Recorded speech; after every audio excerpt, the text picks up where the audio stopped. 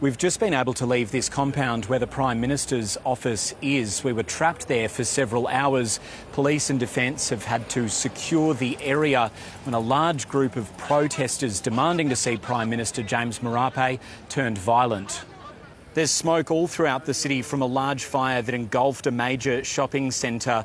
Many have taken to the streets to riot and shops have been looted across the city. This violence follows a demonstration earlier today with hundreds of police, defence and other public servants gathering outside Parliament House. They're furious over what the government has said was a technical glitch that deducted about $100 from their pay. The Prime Minister apologised and blamed Department of Finance staff for not updating national payroll software to reflect current tax policy. He says they'll be reimbursed next pay cycle.